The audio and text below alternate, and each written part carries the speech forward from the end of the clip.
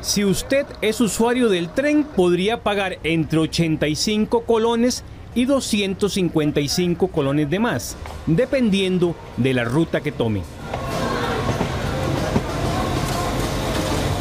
Esa es la propuesta del Incofer y que está bajo análisis de la autoridad reguladora de los servicios públicos.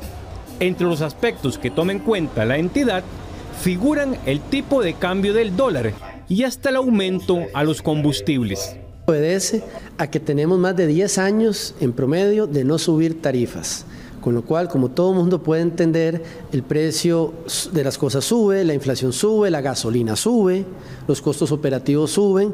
Y aquí en Incofer, durante las últimas administraciones, se les olvidó solicitar los ajustes que deben solicitarse de forma responsable para mantener el equilibrio financiero de una operación como la que realizamos en Incofer. Si el incremento es autorizado, la ruta de San José Belén pasaría de 330 colones a 490 colones.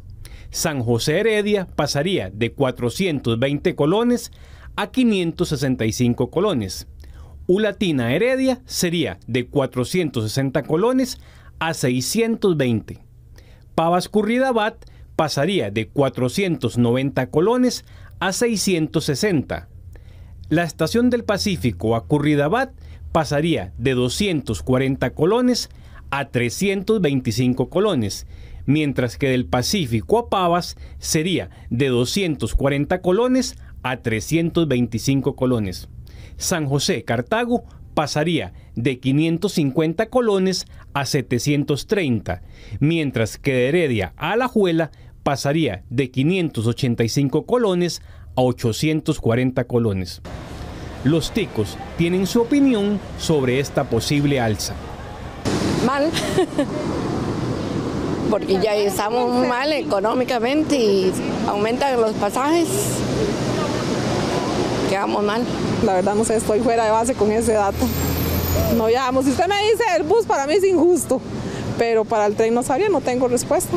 Ah, lo vería caro, porque es un transporte que mucha gente se viaja desde Cartago a San José, o Heredia también, y viceversa, o hasta los de Pavas para Ulatina para mí no sería bueno porque iba muchos universitarios, gente trabajadora. Sí, considero que no es un buen momento para hacer un momento de ese tipo, ya que sería afectada mucha de la población que utiliza el tren. En el caso tuyo, ¿tienes algún familiar que lo use? Conozco muchas personas que utilizan el tren y, y, siento que los recorridos son más rápidos de un lugar a otro y que ha mejorado mucho la calidad de vida de la gente. En la actualidad, 200.000 pasajeros moviliza el tren por mes en sus diferentes rutas.